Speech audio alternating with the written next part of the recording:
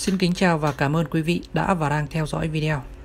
Thưa quý vị, có rất nhiều những câu hỏi được đặt ra trong những cái video của tôi liên quan đến chị Bốt Râu và group Telegram. Vì vậy, video này tôi xin chia sẻ cùng quý vị cách để chị Bốt Râu xóa những tin nhắn mà có chứa những cái nội dung phản cảm, chứa những cái ngôn từ thô tục thì ở đây quý vị sẽ thấy là bốn cái câu lệnh để setup cho chị bot row nếu như quý vị đã xem hết những cái video trước thì quý vị nhìn vào đây. Quý vị cũng có thể biết được đây là những cái câu lệnh dùng để làm gì. Và để quý vị không phải chờ đợi đâu tôi sẽ giải thích cũng như chia sẻ để quý vị sử dụng bốn cái câu lệnh này. Nhưng quý vị cần lưu ý, chị bốt râu không phân biệt được ngôn ngữ tiếng Việt có dấu. Đây cũng chính là một cái hạn chế. Rồi, bây giờ tôi sẽ vào cái lệnh thứ nhất. Tôi sẽ kiểm tra lệnh này là blacklist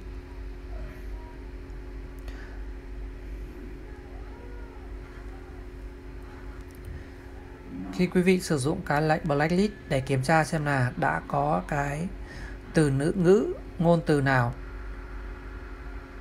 có trong danh sách bị xóa hay chưa. Đó, thì quý vị dùng cái lệnh là blacklist. Tiếp theo, cái câu lệnh là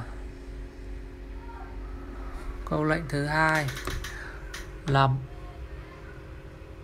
Black Lead Mode Latin Cái này tôi sẽ nói sau cùng. Cái câu lệnh ăn Black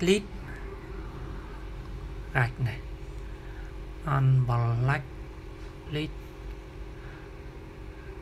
Thì đây là cái câu lệnh để xóa Xóa cái từ có trong danh sách đen.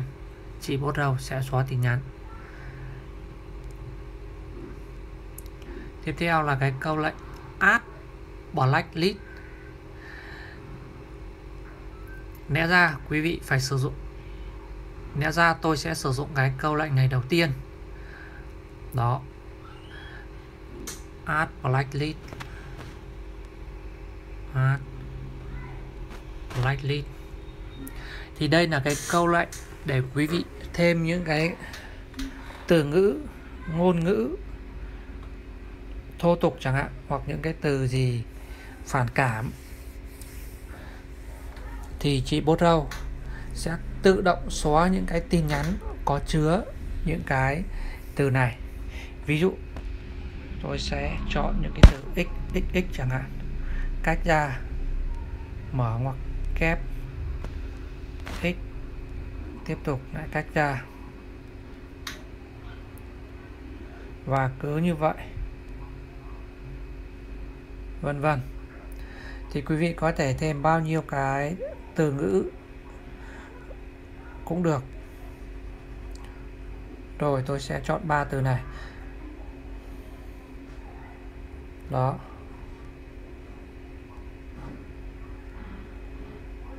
Bây giờ tôi kiểm tra luôn. Blacklist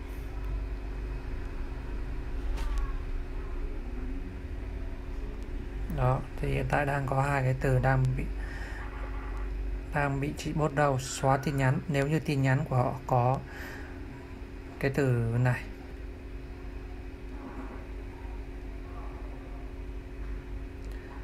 Rồi, và cái câu lệnh cuối cùng là blacklist mode latin này. Blacklist mode latin tức là khi quý vị đã thêm những cái ngôn ngữ, ngôn từ vào trong cái danh sách đen rồi, thì quý vị sử dụng cái câu lệnh black list mode latin này để chị bốt râu, tự động xóa tất cả các tin nhắn có chứa những cái từ ngữ trong cái danh sách đen này. Quý vị lưu ý nhé chị bốt đầu sẽ tự động xóa nhưng không đưa ra thông báo, cũng như không đưa ra cảnh báo. Đó. Thì quý vị chọn gửi này. Ok.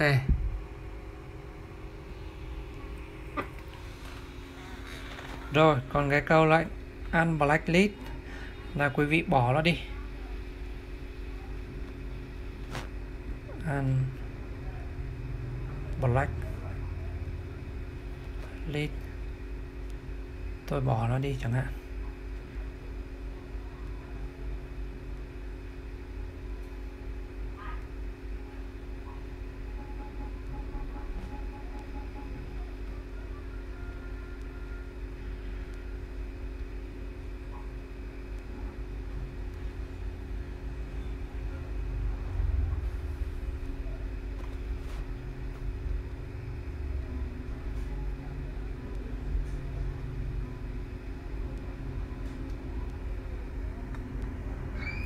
Ok, và đến đây thì tôi xin kết thúc video này. Cảm ơn quý vị đã quan tâm và theo dõi video. Nếu như thấy video hay và hữu ích, quý vị đừng tiếc một like, một chia sẻ, theo dõi kênh để cập nhật những video mới nhất. Xin chân thành cảm ơn.